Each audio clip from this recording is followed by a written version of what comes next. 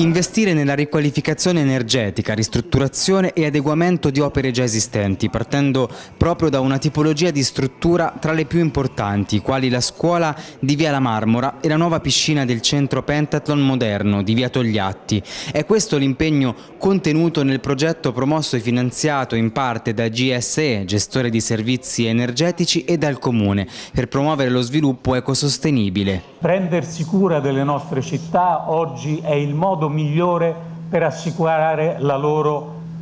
convivenza, la loro sicurezza. Oggi si facilita la coesione e la sicurezza in una città nella misura in cui la città funziona, è in pace con l'ambiente, ha servizi efficienti, ha scuole aperte e di qualità, questo consente anche di avere città più sicure. E siccome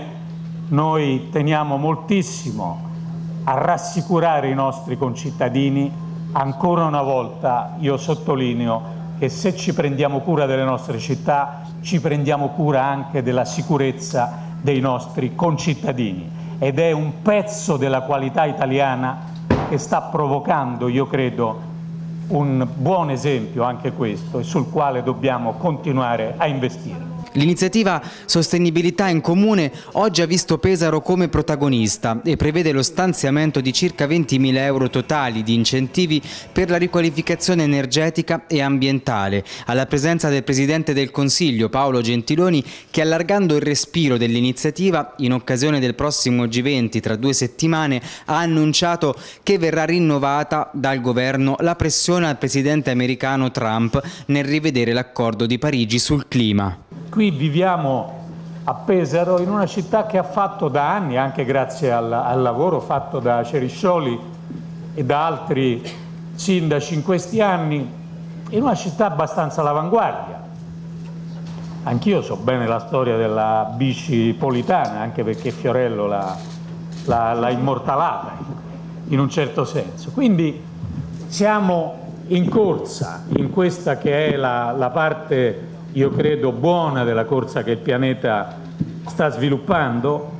nella consapevolezza che queste due cose devono viaggiare insieme, cioè la scuola, l'investimento sull'educazione dei bambini, dei ragazzi, dei giovani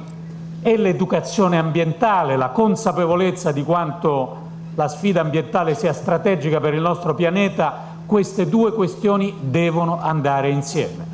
Ricci, nel discorso introduttivo, ha ribadito l'impegno della riduzione entro il 2020 del 30% delle emissioni di gas serra, che porterà, oltre che ad un beneficio ambientale, anche un valore aggiunto di oltre 13 milioni di euro al sistema economico cittadino, in una più ampia visione del concetto di città vivace e vivibile, dove, oltre alla sfida climatica, particolare rilievo assume il tema della sicurezza tramite la riqualificazione delle zone più più degradate della città, come via dell'acquedotto. Questo ovviamente è un grandissimo risultato perché fare cose fatte bene eh, che risparmiano energia produce anche ulteriori investimenti nella nostra città. Inoltre con il Presidente De Gentiloni abbiamo messo anche in qualche modo la prima pietra anche del bando delle periferie, non solo della scuola. Sono 11 milioni e 2 che il governo ci dà per riqualificare tutta l'area dietro la caserma militare, l'area di via dell'acquedotto intorno alla stazione, che oggi è considerata un po' retrobottega della città, spesso e volentieri eh, in situazioni abbastanza degradate, nel giro di due anni potrà essere una grande area di opportunità. Al termine della conferenza, in via La Marmora, il Premier Gentiloni ha deposto simbolicamente le prime tre pietre della nuova scuola che sarà inaugurata il prossimo anno e si è poi spostato insieme al Presidente del CONI, Malagò, in via Togliatti, dove per l'occasione è stata inaugurata oggi la nuova piscina. E quindi i miei migliori auguri a quello che oggi salutiamo nel suo avvio non prendiamo impegni clamorosi sui tempi di inaugurazione perché